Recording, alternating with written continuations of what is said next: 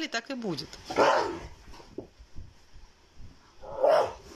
Он у всех. Господи, да.